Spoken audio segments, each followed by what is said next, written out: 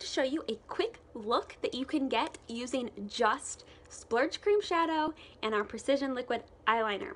Okay, so I have this eye done already. I have Splurge Cream Shadow in Noble on, which is a shimmer, and it is a deep purple, and our Precision Eyeliner in Perfect. And I like to use the cream shadow brush. When you're doing a cream shadow, you want to use a brush that is dense and tightly packed. So you can use a cream shadow brush. You can also use the end of the liner brush, liner shader brush as well, but you want one that is tight. And this is kind of like a pillow. It's very spongy. And the great thing about it is that it dries to a powder. So um, I get a little bit on my brush. A little goes a long way and I tilt my brush to get as close to the lash line as I can and when I'm doing shimmer I press because I don't want shimmer all over my face.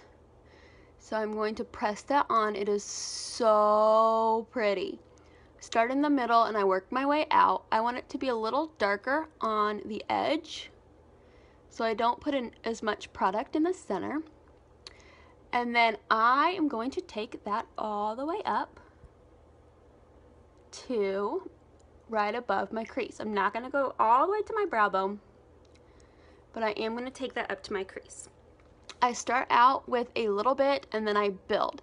You want to make sure you're pressing because if you do windshield wiper, you're going to get shimmer all over the place and you're going to wipe it off. We don't want to wipe it off. Okay, so that's all I do with the cream shadow. Isn't that so pretty?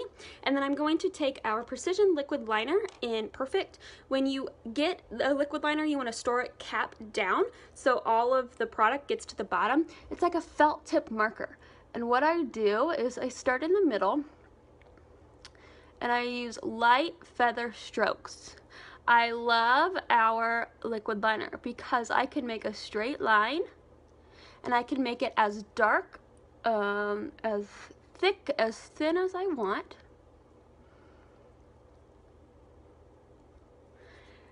And it dries. So it is smudge proof and budge proof. It's not going to go anywhere once it dries, okay? So I do that on my top. I make it a little thicker on the outside than I do on the inside. Like that. I take it all the way in. And then on my bottom, start on the outside and I'm just going to do light strokes. This just really, really light all the way in. And then you can add more if you want more. Just like that. The liquid liners are great to do a winged liner. If you like that look, you can start at your lower lash line and go out. Or you can just do it like a regular liner.